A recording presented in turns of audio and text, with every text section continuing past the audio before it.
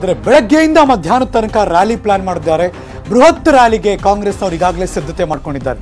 ಆದರೂ ಕೂಡ ಸಂಚಾರ ಮಾರ್ಗ ಬದಲಾವಣೆ ಯಾವುದೂ ಆಗಿಲ್ಲ ಅನ್ನೋದು ಈ ಕ್ಷಣ ಸಿಗ್ತಿರುವಂತಹ ಬ್ರೇಕಿಂಗ್ ನ್ಯೂಸ್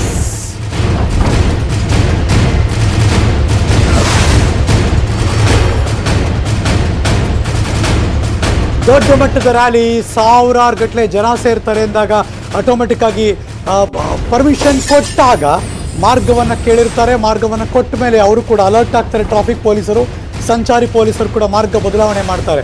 ಆದರೆ ಒಂದು ಕಡೆ ನಗರ ಪೊಲೀಸ್ ಆಗ್ತಾರೋ ನಾವು ಯಾವುದು ಪರ್ಮಿಷನ್ ಕೊಟ್ಟಿಲ್ಲ. ಲಾ, ಅನ್ಲಾಕ್ ಫೈವ್ ಪಾಯಿಂಟ್ ಓ ಪ್ರಕಾರ ಇನ್ನೂರೈವತ್ತು ಜನರ ಮೇಲೆ ಸೇರಂಗಿಲ್ಲ ಅಂದರು. ಬಟ್ ಸ್ಟಿಲ್ ಈ ರ್ಯಾಲಿ ನಡೆಸ್ತಾರೆ ಕಾಂಗ್ರೆಸ್ ಅವರು. ಸಾವಿರಾರು ಗಟ್ಟಲೆ ಜನ ಇದ್ದಾರೆ.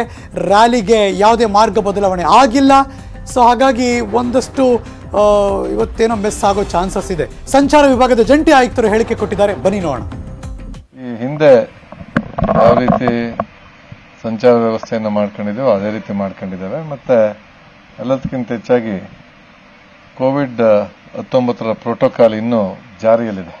ಹೀಗಾಗಿ ಕಾನೂನು ಮತ್ತು ಸುವ್ಯವಸ್ಥೆ ವಿಭಾಗದಿಂದ ಮತ್ತು ನಾವು ಕೂಡ ಸಂಘಟಕರಿಗೆ ಹೇಳಿದ್ದೇವೆ, ಯಾವುದೇ ರೀತಿ ಕೋವಿಡ್ ಹತ್ತೊಂಬತ್ತರ ಪ್ರೋಟೋಕಾಲ್ನ ಉಲ್ಲಂಘನೆ ಮಾಡಬಾರದು ಅಂತ ಆ ಪ್ರಕಾರ ಆಯೋಜಕರು ಕೂಡ ಸೂಚನೆಯನ್ನು ಕೊಟ್ಟಿದ್ದೇವೆ. ನಾಳೆ ಬೇಕಾದಂತಹ ಬಂದೋಬಸ್ತ್ ಮಾಡ್ಕೊಂಡಿದ್ದೇವೆ. ಯಾವುದೇ ರೀತಿಯ ಮಾರ್ಗದಲ್ಲಿ ಬದಲಾವಣೆ ಇಲ್ಲ.